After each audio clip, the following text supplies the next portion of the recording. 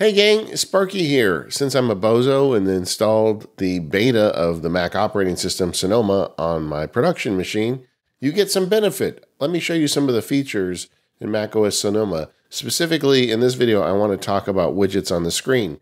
And you can see right here, I've already set up a bunch of them. It was actually really quite easy. The first way you can do it is you can just pull them over from your sidebar. Like I've got this one here with the times for various uh, people I work with, uh, and I put that up here. I don't really like the way that looks, so I'm going to drag it over here. And you can see how it does a, a little bit of a just a snapping. It fits in for you. And I'm going to put the clock over there and then put this one over here.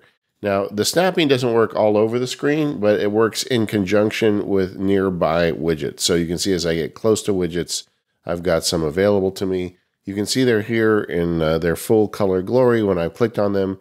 When I've clicked off them on the desktop, they go to this kind of grayed out version, which matches the wallpaper in the background. And I've got several here. You can also drag these if you want back into the sidebar if you want. Let me get that again. There we go. Swipe. There we go. And I can put it on the sidebar. So you can move them back and forth as you decide what works and doesn't work for you.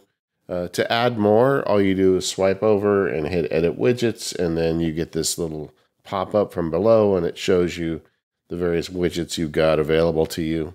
Like the battery one is a good idea. I'm going to pull that in. Uh, I'm going to put it in just as a small one. Put it right there, and you can see the battery charge of my various devices. Interesting, you can even see the charge status of my keyboard, which uh, which is good to know. Uh, I kind of like that. So I can right click on any of them and make changes to them if I want. Like I'm going to right click on this Fantastical one, say edit Fantastical, and I can change the settings of the widget. I can also remove them if I want. I'll go ahead and remove that one. And then I will put Fantastical back. Let's do that. Edit. Fantastical. Uh, the other thing that's interesting, you see I've got two versions of Fantastical here. One is the iPhone widget and one is the Mac widget. And you can tell up here in the right corner, this one is from iPhone. In general, I've been preferring the Mac based ones when they're available because um, they are more stable. They're on the platform I'm using, but you can run them off your phone if you want. Uh, like here's drafts. Um, like I've got the drafts grid from the iPhone. I could pull that in if I want and then that's going to be talking to the widget on my phone. Although I've got the main Mac one already installed, so I'm kind of good there. I do like the way they kind of fade into the background. I'm curious to see if I will actually look at them or if they become a distraction or if I just ignore them. Generally, I work with Windows on the screen, but I think being able to swipe aside and just take a look at these might be useful to me on the blog and in the podcast over the years, I, many times I've said I wanted widgets on the home screen. So now it's time for me to put up or shut up. Uh, most of these are static widgets at this point. We're still in the beta process. I am on the beta for Timery, and they have an interactive widget. So, like, if I stop this timer, if I hit the button here, you can see it will stop the timer. There we go. Now the timer has stopped, and I can move this back over and it's showing me the most recent timers. I'm going to restart the MacSparky Labs timer, and then that'll kick in without me having to go to the app. So that's kind of the dream here that we get this working in a way where all of this stuff is interactive and we don't even need to jump to applications. But most of them at this point aren't that. Uh, but we'll get there when it releases. And the question is, when will this release? Probably in October. I mean, historically, the last few years, Apple has been releasing the updates to the iPhone and iPad in September and the Mac in October, but you never know.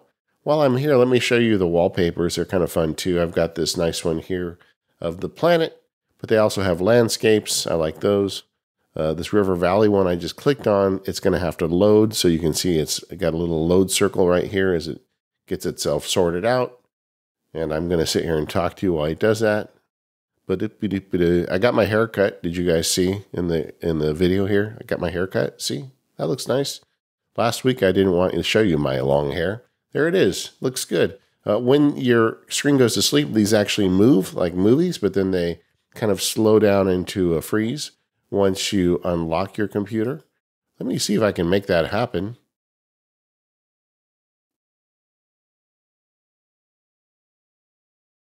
Okay, I don't know if my screen is still recording, but we're moving through this canyon. Now let me unlock it. And you see it just slowly comes to a stop. That's pretty cool, right? Another one I'm going to do right here before I go because I like all these wallpapers. Let me show you one more. I like the uh, the underwater ones, and they've got a bunch of them.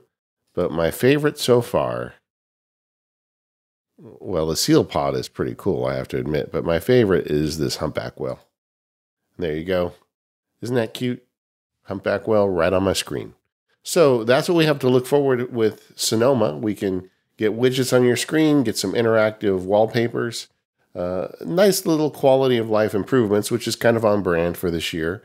Uh, I am curious if you think you're going to be using the widgets. If you do, let me know and what you plan on using them for. I really hope the third party app developers really step up here and we get these widgets updated to be interactive like this Timery beta is. Uh, but, you know, time will tell.